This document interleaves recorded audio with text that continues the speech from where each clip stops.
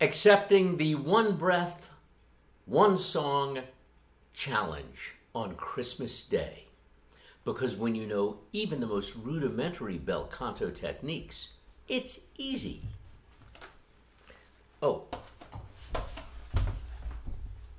And Rocky agrees. He may be accompanying me on this. I don't know.